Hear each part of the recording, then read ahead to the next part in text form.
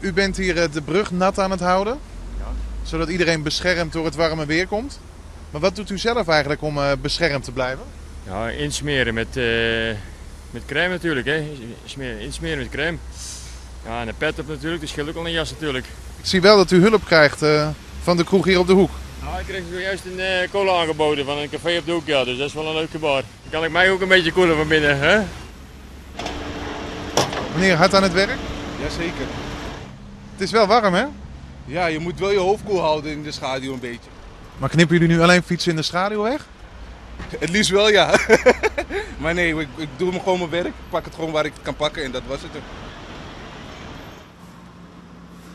Meneer, is het een beetje te doen vandaag? Nou, het is een beetje warm. Ja. Hoe hou je het vol? Ja, de schaduw hè. De zon is het niet te doen.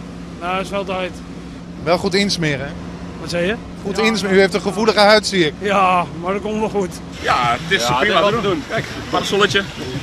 Mooi weer. Zelf aan gedacht of meegegeven door de baas? Nee, dat hebben we uh, meegekregen van de maatregelen. Heb jij het extra druk vandaag? Nee, het is eigenlijk wel rustig vandaag. En ik geniet wel lekker van het weer, dus het is wel prima. En je hebt net twee mensen achter je heel blij gemaakt. Zij genieten zo van hun werk de hele dag, dus...